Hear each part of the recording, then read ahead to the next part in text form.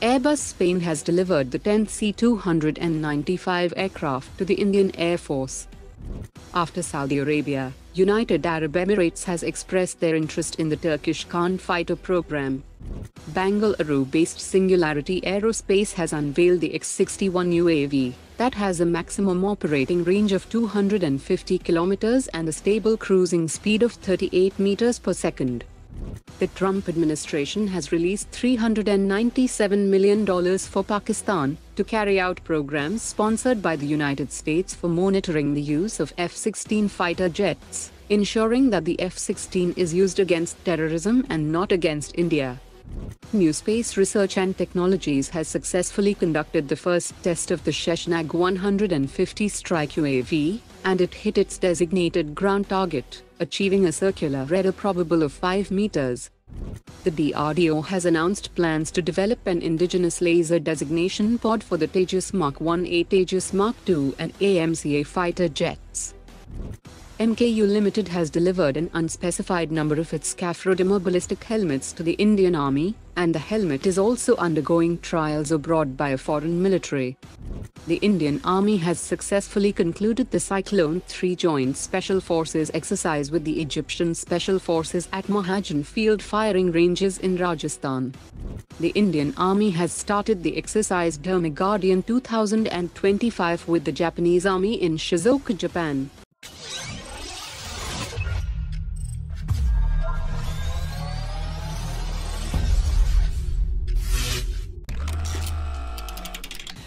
The newly formed high-level committee is considering to hand over a significant share of the forthcoming 65,000 crore rupees order for 97 Tejas Mark 1A to the private sector companies like Tata Advanced Systems Larsen and Toubro VEM Technologies and Dynamatic Technologies. The private sector firms will initially focus on Tejas Mark 1A assembly, that will later be expanded to the AMCA program. Hindustan Aeronautics has claimed of achieving 30 Tejas Mark 1A annual production rate by 2027, but doubts persist about HAL's ability to scale production to meet these demands. HAL might be asked to give its Nashik facility to a private entity under a long-term lease agreement, where the private firm would first master local assembly under the guidance of Hindustan Aeronautics, and the private firm could assume full control of the facility over time, thus transforming it into a dual-purpose hub for both Tejas Mark 1A and AMCA production.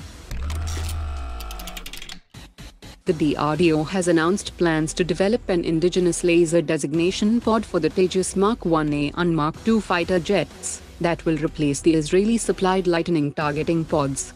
Talks with Indian Air Force on specifications and technical requirements is over, and the Air Force has demanded some next-generation features, so that it can be used on 4.5 generation fighters as well as on AMCA 5th generation fighter. The formation of a cost negotiation committee is underway that will comprise officials from the Ministry of Defense Indian Navy and representatives from Mazagon Dock shipbuilders that will expedite the Indian Navy's 6 Project 75I submarines deal with ThyssenKrupp Marine Systems of Germany. ThyssenKrupp Marine Systems is required to transfer 100% of the necessary technology to India, that includes both commercial and technical aspects ensuring that India gains comprehensive knowledge to design and build submarines independently in the future.